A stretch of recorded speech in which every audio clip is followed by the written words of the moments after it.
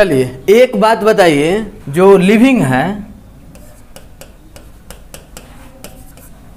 सजीव है, और सजीव में अधिकार दिखाने के लिए एक व्यक्ति का भी हो सकता है, एक से ज़्यादा व्यक्ति भी हो सकता है। नहीं, एक व्यक्ति का भी अधिकार हो सकता है, एक से ज़्यादा व्यक्ति का भी अधिकार हो सकता है। एक व्यक्ति का अधिकार होगा तो उसके लिए हम लोग कहेंगे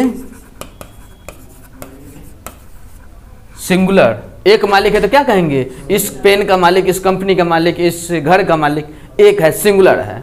कभी कभी एक पेन का, एक घर का, एक कंपनी का मालिक एक से ज़्यादा हो जाते हैं। और जब एक से ज़्यादा हो जाते हैं तो क्या बोलते हैं? प्लूरल बोलते हैं। ओके? जैसे देखिए ना, अगर सिंगुलर हो तो अधिकार दिखाने के लिए किसका यूज़ करते हैं पता है? एस का। और अगर पुलरल हो तो अधिकार दिखाने के लिए किसका यूज़ करते पता है? ओनली एपस्ट्रॉफी ठीक है? सिंगुलर पे अधिकार दिखाएँगे एपस्ट्रॉफी एस लगा के पुलरल पे अधिकार दिखाएँगे ऑनली एपस्ट्रॉफी लगा के। इसीलिए घबरा रहे थे ना उस समय आप। आया ना, कहे क्या? धीरे धीरे हौले हौले आइए एग्ज़ाम्पल जैसे देखिए।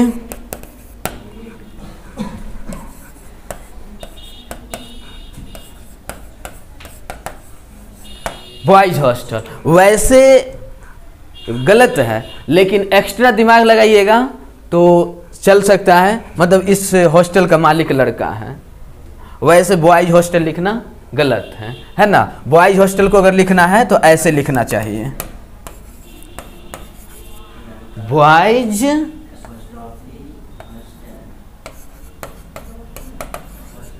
हॉस्टल एपस्ट्रॉफी है ना? तो ये क्या हो गया?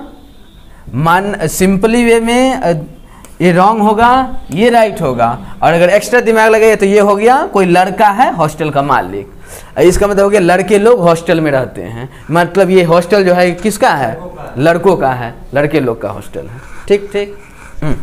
जैसे देखिए, अपना काशीपुर रोड में है ना कोचिंग ये सम- ये गर्ल्स हाई स्कूल रोड में है ना कोचिंग अब बहुत सारे लोग ऐसे लिखते हैं girls high school road Kashipur, Samastipur, ऐसे। ऐसे देखिए लिखा हुआ। आज के बाद कोई अगर लिख दे ऐसे गर्ल्स हाई स्कूल रोड उसका पोस्टर ब्लेड से फाड़ दीजिएगा। अगर पकड़ेगा तो कहिएगा, गलत का है लिखे हुए हैं? है ना? अभी उतरिए, देखिएगा।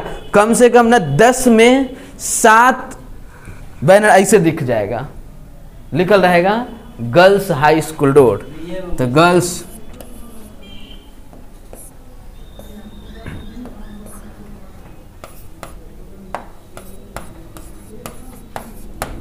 गर्ल्स स्कूल है ना? लड़कियों का स्कूल रॉन्ग हमें सिंपली वे में एक्स्ट्रा दिमाग लगता है मतलब ये स्कूल का मालकिन लड़की है है ना?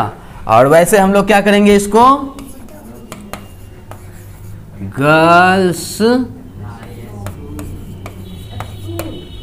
स्कूल सही. क्लियर ना? बात समझ में आया क्या?